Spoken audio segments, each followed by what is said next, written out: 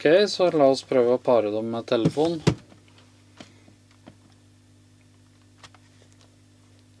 Åpne ETUI. Passe på at Bluetooth er på. Innstillinger. Blåtann. JBL Live Flex. Kom tilkoblet. Så, nå er de tilkoblet. Kan jeg ta de ut. Skal det egentlig være klare til å bruke uten å gå inn på appen. Connected fikk jeg i øret. Så så enkelt var det å koble det til. Det tok jo ikke lang tid. Se om jeg får til noe musikk her. Ha. De fungerte med en gang. Jeg vet ikke hvor lang tid det der tok. Det var ikke lang tid. Ha, ganske bra bass. Det er ikke så lett for meg å overføre lyden ifra de til dere. Så dere må bare stole på meg at det jeg sier stemmer.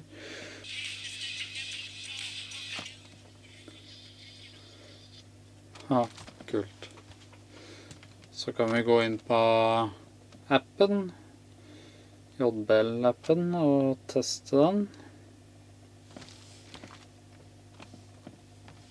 Kan lukke etuiet.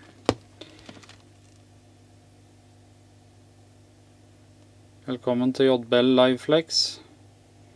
Complete the setup for your headphones in just a few steps. Så gjør ferdig oppsettet på øretelefonene dine bare med noen enkle få step. Steg. Voice Assistant Setup. Kan vi gå inn på den. Siri. Jeg bruker Alexa. Select Nei, jeg bruker Siri. Det er den jeg bruker på de andre. Produkttips. Lær mer om airbudsa dine. Ambient sound control. Adjust noise cancelling directly on dashboard. Så du kan justere støykanselleringa direkte fra appen. For further noise cancelling customiz customization Fader, jeg klotrer. Enter customize ANC. Det bare klot. Gestures, det er jo da kontrollene dine på tappinga på airbudsa. Du tapper da bare lett opp på airbudsen din her når du har den i øret. Definer hva du kan kontrollere med airbudsa dine på dashbordet, altså på appen. Det var tipsa. All set. Software update available. Da må vi prøve å laste ned den, da. Versjon 3.5.0. Få bugs som er fiksa. Forbedre brukeregenskap. Oppdatere. Overfører da til airbuds tydeligvis. Passe på at airbuds er nærme mobiltelefonen når du oppdaterer. Du skal ikke putte det tilbake i esken. Jeg skal spåle fram det her, så det går litt fortere. Du slipper å sitte her og se på dette i ti minutter.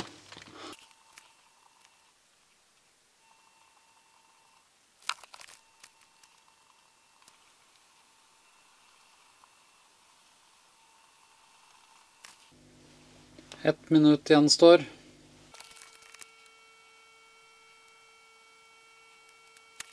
Hundre prosent. Tre minutter igjen. Tre minutter. Yay! Update successful. Ikke. Tok sin tid. Det gikk ganske greit. Så inne på appen her så kan du Stille inn Adaptive ANC-innstillingene. Automatically adjust the ANC level based on the surrounding noise level. Altså ANC står vel for Automatic Noise Cancelling. Så da vil den justere basert på lydene rundt meg i omgivelsene. Så det er veldig kjekt. Den kan jo stå på auto, for min del. Personify. New way to personalize your sound. Ny måte å person personalisere lyden den. Start. Ok. Mail. Skal jeg sensurere når jeg hvilket årstall jeg er født av? Føler jeg meg gammel. Listening experience. I hvert fall ikke beginner. Advanced. Other. Nei, jeg vil mail. Next. Please ensure that you are in a quiet environment. Nå får jeg tone inn i venstreøret. Skal jeg trykke next for at jeg hører den. Nå får jeg inn i høyre øre. En svak basstone. Release the button and you can no longer hear the tone. Press and hold here to start. Der. Hørte ikke jeg den lenger. Kommer det en tone i øret som blir svakere og svakere. Der hørte jeg den ikke lenger. Så du skal trykke og holde fram til du ikke hører tona i øret lenger. Det er forskjellige frekvenser, hører jeg. Hearing test. Ha, ikke sant. Hørselstest. Så alle de fram til nummer ti var da venstre øre. Så er det høyre øre, tydeligvis. Jeg hadde sikkert hørt det lenger, hadde jeg ikke hatt ei vaskemaskin som går i bakgrunnen her nå. Så det er sikkert litt dumt å ha. De anbefalte å ha det helt stille rundt deg. Ah. Endelig ferdig. Get result. Hmm. Left ear. Basslydene, som for eksempel tromme, bassgitar, eksplosjonslyder etc. er bitte litt emphasized. Det er jo da er bitte litt vektlagt. Vet ikke hva du mener med det. er kanskje uh, Middelstoner, gitar, stemme, dialog er dratt opp litt. Trebel, hi-hat, høye noter er så vidt forsterka. Høyre øre, basslyden emphasized akkurat det samme. Så det er ganske likt på begge ører.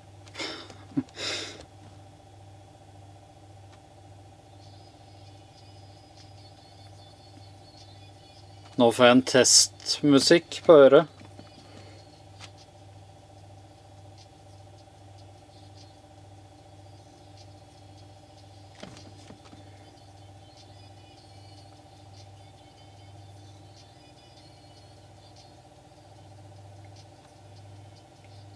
Kan jeg høre forskjell med og uten? Ha, kult. Det har faktisk en forbedring med. Det ble en mye bedre sound på airbudsa. Kult. Den må jeg ha på. Da er det bare å gå Skal ikke ta noen retest. Tilbake.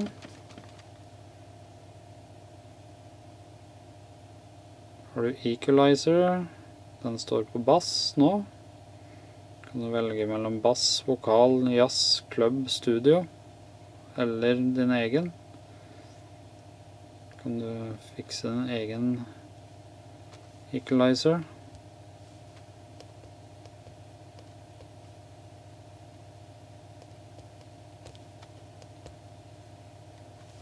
Det er jo ganske kult.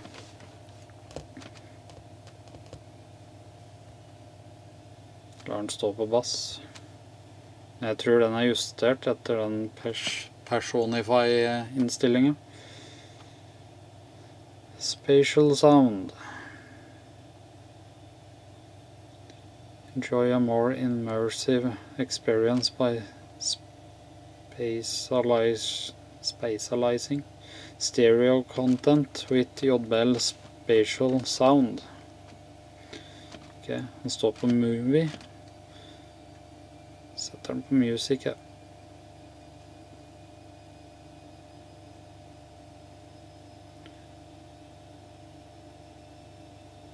Gestures. Det er da hvordan du styrer eh, musikken og svarer på telefoner da, med tappinga på airbudsa. En tapp, noise cancelling on-off. Tap and hold, trigger Siri. Call control, altså når du får innkommende anrop, så dobbelttapper du for å svare, og du dobbelttapper for å legge på.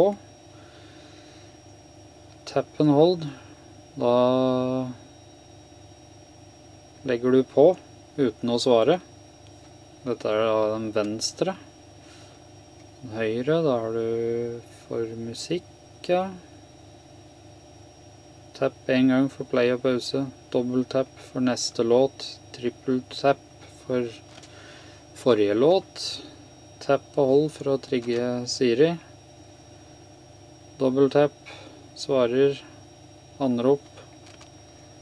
Tapp og hold avviser anrop. Det her er jeg ganske kjent med, fordi jeg har brukt mye på de gamle. Voice aware.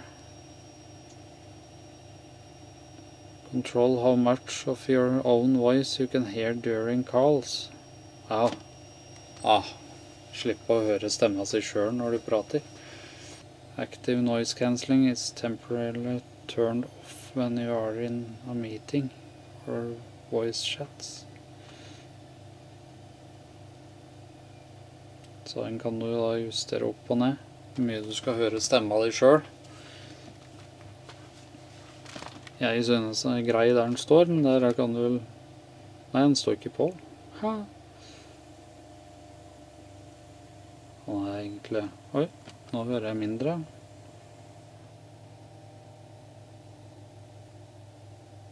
Hallo, hallo, hallo. Ja. Det kan være det.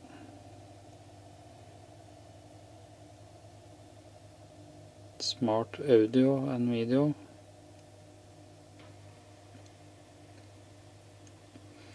Gir den beste audiokvaliteten.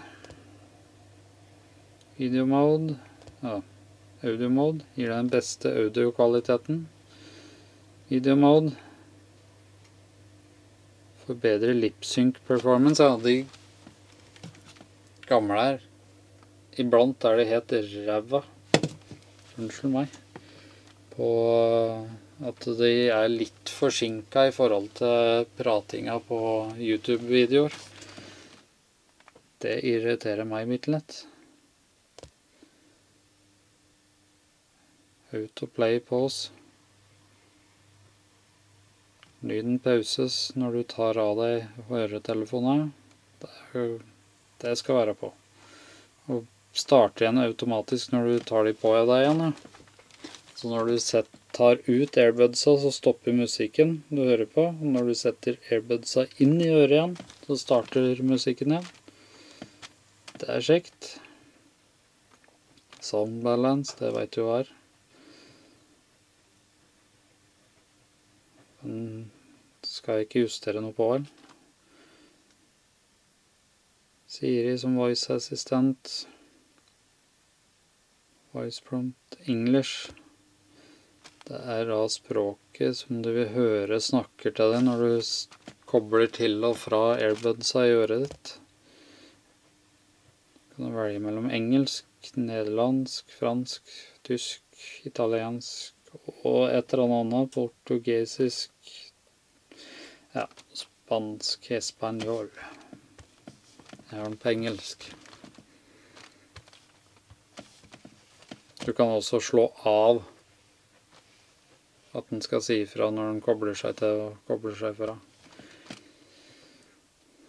Maks volume limit, det skal jeg ikke ha på. Kjekt hvis du har barn som bruker airbudsa. Du begrenser høyeste volum. Find my buds. Kan du rett og slett legge ifra deg airbudsen.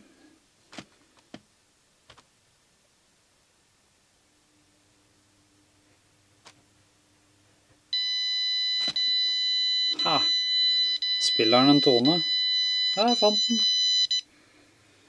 Det var venstre. Fungerer på høyre?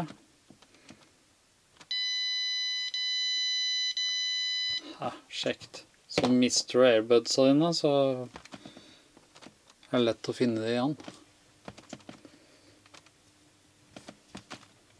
Kult. Så lenge du er i nærheten, da innenfor Bluetooth-signal. Power saving, det er noe jeg aldri bruker. Auto standby og auto power off. Auto standby, da etter 15, etter 15 minutter uten noe lyd, så vil den gå i standby. Nei, det vil ikke ha på. Så har du support det. Så min første reaksjon på airbudsa, det er jo det er utrolig kul å se på. Og den metallfinishen du har rundt. Pynter opp litt. Det er nettet i størrelse i forhold til de gamle jeg har. Det er jo to forskjellige typer airbuds. Enkle å bruke, det vet vi fra de gamle. Men de har noen nye funksjoner jeg kommer til å teste ut. Så det var da en unboxing av JBL Liveflex. En kort introduksjon om hvordan du kobler de til telefonen din og setter de opp. Så vil jeg komme tilbake med dommen min når jeg har fått testa de over ei periode. Vi ses!